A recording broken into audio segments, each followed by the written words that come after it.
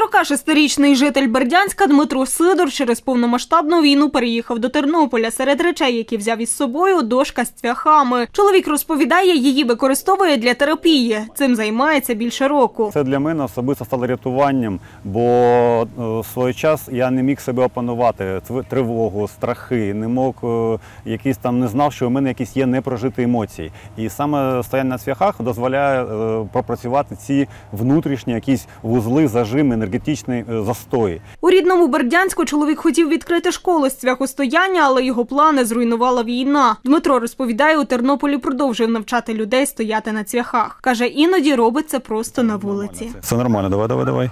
Хоп. І дихай спокійненько, відпускаємо. Зараз біль буде зростати, дуже буде зростати, вона буде зростати хвилин 5. Цвяхотерапія це надзвичайно важливо саме в цей, час, коли навколо такі, знаєте, просто середовище, що всюди війна. Ми це відчуваємо. І проживання е, на цвяхах таких яскравих відчуттів через біль, через аскезу, воно дозволяє змінити фокус уваги. Тобто війна виходить на задній план, вона виходить просто як фон.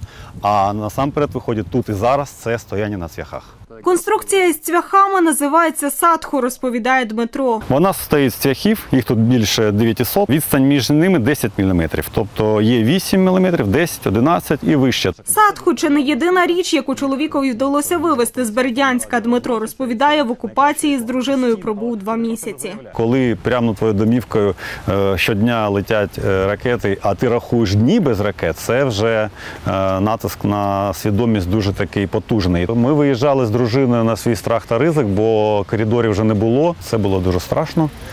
Але їхали, їхали через блокпости, через все. Людей роздягали на татушки, шукали там все таке. Тобто це дуже тиск навіть на це дивитися, це дуже неприємно. Дмитро каже, вірить у збройні сили і перемогу України у боротьбі за власні території. Нікого не готувало до війни, але саме ці часи кожен рятується як може. Одні рибалять, інші купаються, займаються спортом, катаються велосипеді, а дехто стоїть на цвяхах, так як я. Мирослава Західна, Василь Панчук. Новини на Суспільному. Тернопіль.